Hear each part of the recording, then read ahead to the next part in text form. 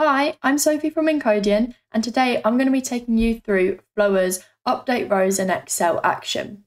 So this action allows you to update your data in your Excel files, whether that data is in a table format or whether it's not in a table format. You can use this action to update both types of files. So let's go ahead and have a look at the solution. So the scenario for our solution is that there is this SharePoint sales list, which we can see on the screen in front of us. As a salesperson completes a sale, they have to come to this list and add a new entry containing the information regarding their last sale. So we need a way to get this data into the sales Excel sheet. So we have a flow which is going to run monthly which is going to take all the data from the sales SharePoint list and update the data in a sales Excel file. So for this demo, we're mainly going to be looking at this products column just to keep it simple and just to show you how actually you can start to input data and use data in the Flowr Update Excel action. However, in reality, you would most likely be wanting to use all of this data. So we're just keeping it simple but in reality, you would probably want to be updating more than one column. So let's take a look at the sales Excel that we need to update the data into.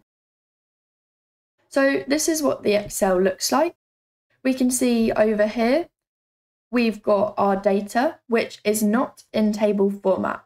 So as with all of the Flowr actions, your data doesn't need to be in a data table, like we can see here, you can just have it as unstructured data in Excel. But if your data is in a table, this action will work the same way, so it doesn't matter. So we've got our data here in this corner. We also have this chart here, which is using the data from our unstructured table over in the corner there. So as the table updates, the chart will update too. So let's take a look at the flow. So this is my flow. As with a lot of the demos we do, I've got a manual trigger here However, in reality, because we're wanting this flow to run every month, this would be a scheduled monthly trigger. So the first thing I need to do in my flow is I need to get my data from SharePoint into the flow.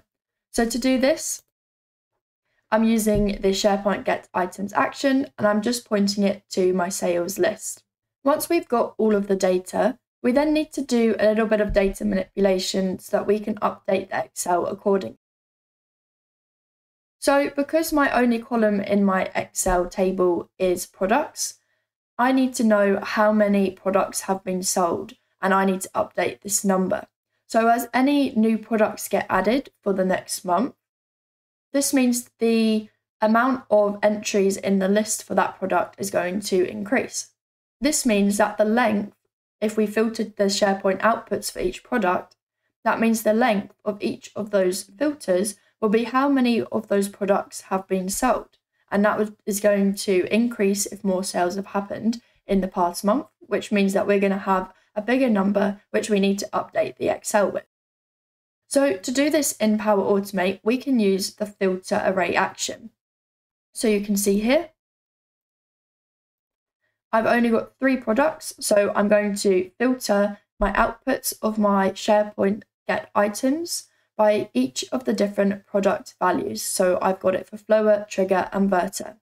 And we can then use the lengths of each of these different filters to work out how many products have been sold and get the new number.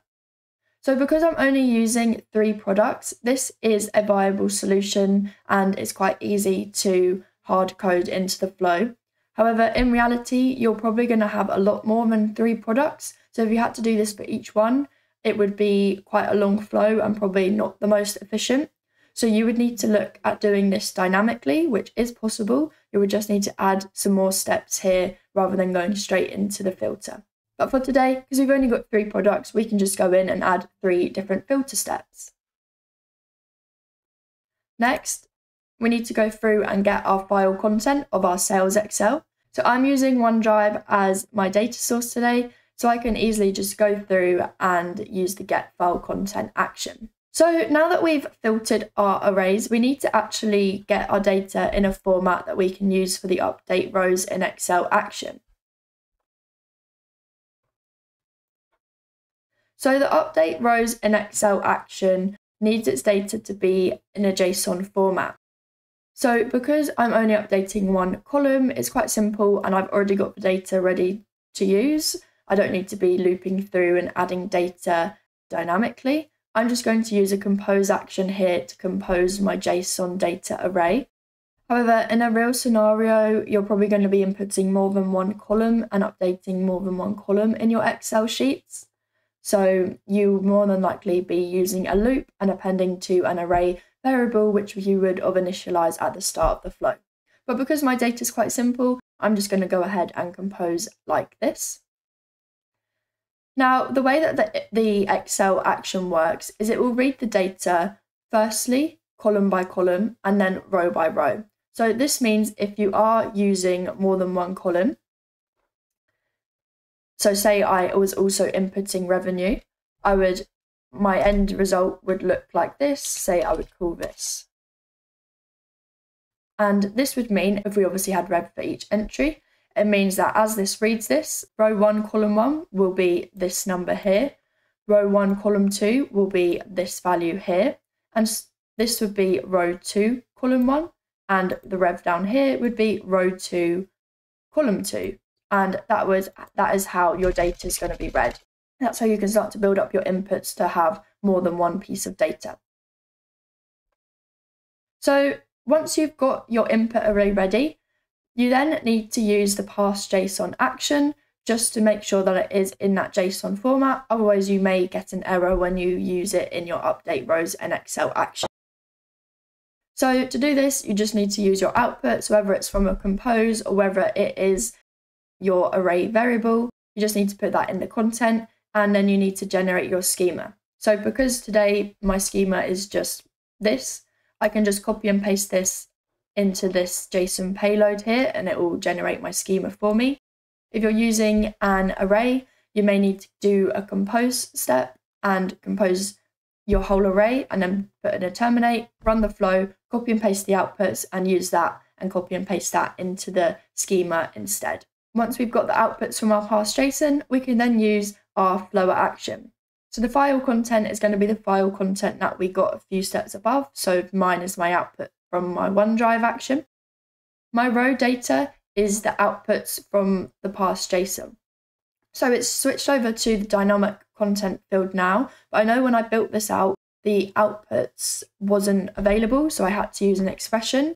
So just to make it clear, it has to be the outputs from the parse JSON. It can't be the body or anything else it might be showing you. And if it doesn't pop up in the dynamic field options, you can write the expression for this using outputs and then whatever your parse JSON action is called. Now, because I'm using unstructured data, it's really important for me to tell the action where to update my data from. So I need to tell it to update from row 2 and from column 2.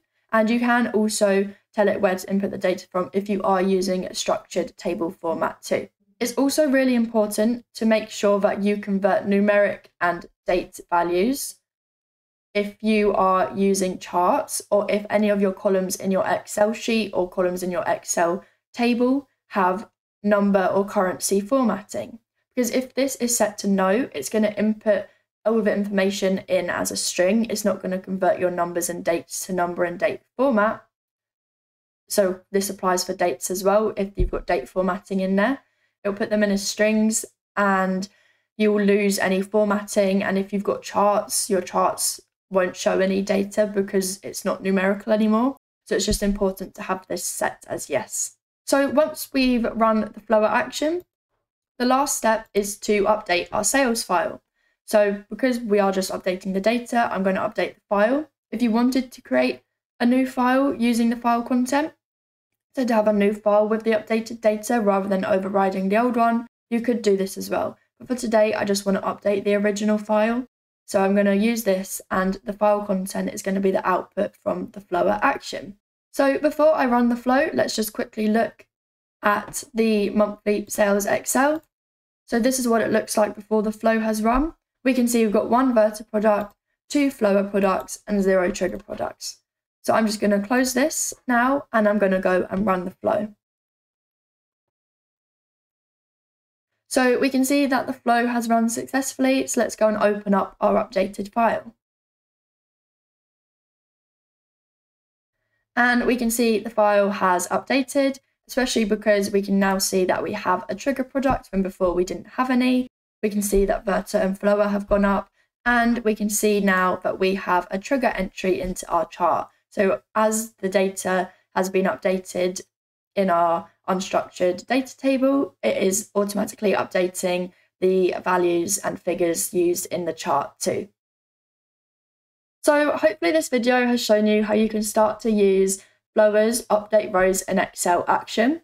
And it's shown you how you can start to update your rows, whether they are in a table format or in an unstructured format in your Excel files.